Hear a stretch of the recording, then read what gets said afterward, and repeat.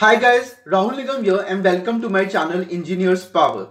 In this video, I will tell you how to answer when an interviewer asks you, what are your long-term goals? While answering this question, don't hesitate to display your ambition as this is what the recruiters really want to hear.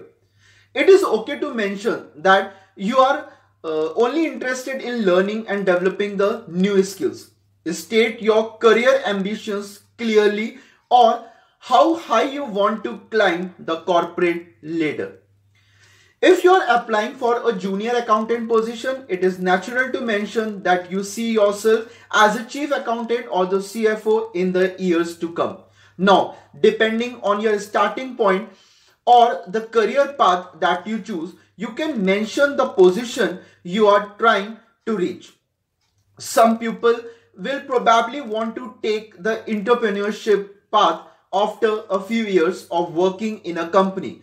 Make sure that your plans for the future are ambitious enough when answering this question. Also, since this question is very common, you might want to write down your answer when preparing for the interview. Polish it and make it more appealing as you want this answer to stand out from the rest of the crowd.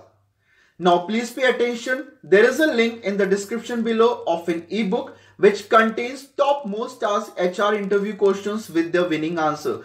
Go and grab this ebook. Trust me, it will really help you in all types of HR interview for the preparation.